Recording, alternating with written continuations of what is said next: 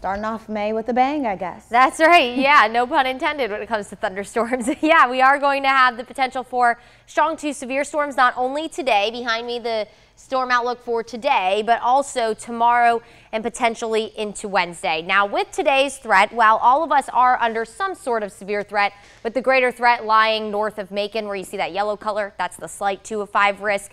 And then if you're south of Macon, you're in that marginal threat. Today's threat for severe weather does look pretty isolated. It definitely doesn't look to be a widespread threat, but nonetheless, we have the potential, definitely have the ingredients for strong to severe storms today and already have seen some severe weather across the southeast this morning. When you walk out the door this morning, you will notice it is very warm and very muggy. So we already have fuel for storms even before the sun has come up this morning. Now the threats we're going to be looking for gusty wind, heavy rain, frequent lightning. Also the potential for maybe one inch diameter hail. That will mainly be for the afternoon. Also a brief isolated tornado. That can't be completely ruled out. I do think that that tornado threat is going to be greater up towards the Atlanta area, but north of Macon is where I think we'll be focusing on that. That threat is very low though. And again, our threat today is isolated when it comes to that severe threat. So what's going on right now? Warm front to our north along this weather system that the center of is up towards Tennessee. And beyond, behind this warm front is warm air. We're pulling in a lot of warm and moist air from the Gulf of Mexico.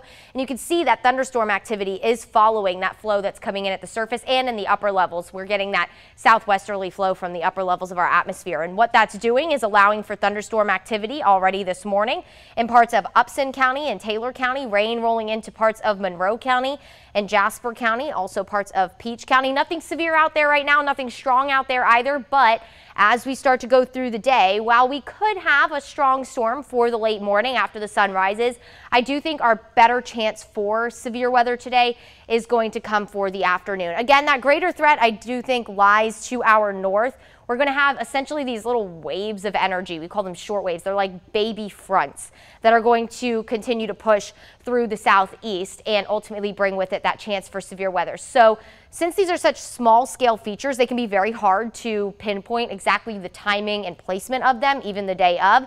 So right now, if you're north of Macon, we're going to be keeping a closer eye on you. But even as we head into the evening tonight, we'll watch again for just an isolated strong to severe storm. Have a way to receive weather warnings just in case because that potential is there not only today, but tomorrow we're going to watch for another wave to roll through ahead of a cold front that moves through as we head into the overnight on Tuesday into Wednesday. For today, tornado threats low. The damaging wind gust threat is going to be the greatest. When it comes to flooding, don't think that's an issue.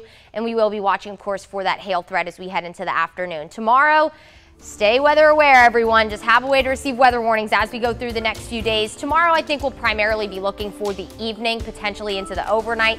We'll keep a chance for rain and storms Wednesday, and we're finally dry Thursday all the way through the weekend.